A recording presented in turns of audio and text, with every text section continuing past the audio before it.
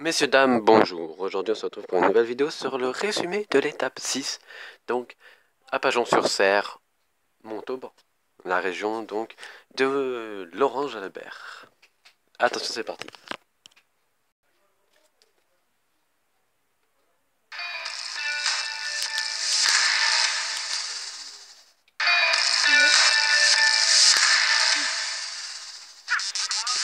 Cavendish n'est pas seulement l'homme du jour, il est l'homme de ce début de tour, troisième succès d'étape, dans un sprint très disputé où les places étaient chères dans le dernier kilomètre. À Montauban, le Cap fait coup double, une victoire d'étape certes, donc la 29e sur le tour, et le voilà maintenant devant Bernard Hinault dans les livres d'histoire. Enfin, le sprinter de Dimension Data retrouve sa tunique verte qu'il n'est pas prêt de céder dans les jours qui viennent.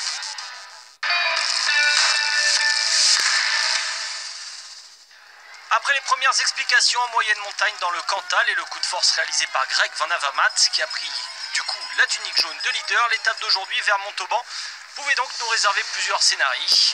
Un joli coup entre baroudeurs sur les 190 km du parcours ou une arrivée massive. La physionomie des premiers kilomètres nous laisse plutôt entrevoir la seconde option. Deux hommes seulement prennent rapidement la fuite. Aux côtés du japonais Arashiro de l'équipe Lampré, on retrouve Yann Barta, le tchèque de Bora Argonne, déjà devant lors de la première étape du tour vers Utabic. Pas de bagarre à l'avant de la course, sous un soleil de plomb, les deux échappés passent tour à tour en tête sur les deux sommets programmés en début de parcours, le col des Estacs, troisième catégorie pour Barta, et la côte d'Aubin, quatrième catégorie pour Arashiro. Au sprint intermédiaire de Montbazin à 113 km de l'arrivée, Barta coupe la ligne en premier devant Arashiro. En tête du peloton, c'est Brian Cocard, flashé de 55 km/h qui passe en troisième position. Mais on vous rassure, le rythme est moins élevé durant ces premières heures de course puisque l'on roule à moins de 38 km/h de moyenne. Un peu de tour.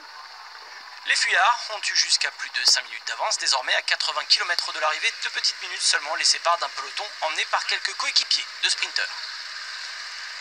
Après un dernier passage comptant pour le maillot à poids à Saint-Antonin-Nobleval, une côte de troisième catégorie, Barta devant Sissi Arashiro, le peloton mené par les Direct Energy décide de reprendre définitivement les échappées. C'est chose faite à 20 km de l'arrivée, s'ensuit une longue valse vers la ligne à Montauban.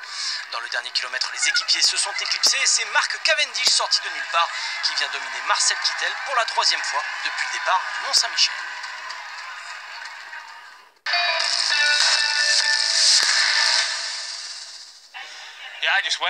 Je me suis bien lancé et j'étais à fond.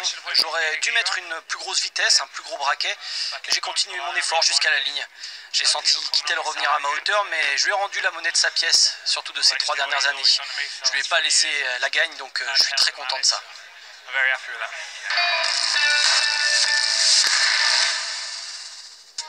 La bonne surprise de cette sixième étape se nomme Daniel Maclay. Le Britannique de Fortuneo est un étonnant troisième. Peter Sagan en terminant sixième perd son maillot vert. Déception également pour Brian Cocard, seulement neuvième après un gros travail de son équipe.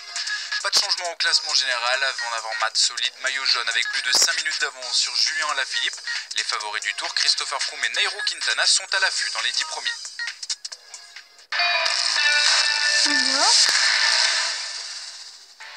Département des Hautes-Pyrénées attend les coureurs. Une septième étape entre l'île Jourdain et le lac de Payolle. Par-delà le terrible col d'Aspin, 162 km au programme. Une première explication entre costauds est prévue.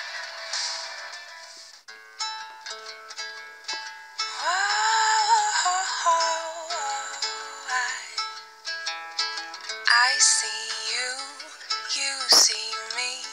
I'm as happy as a girl can be. Oh, girl can be.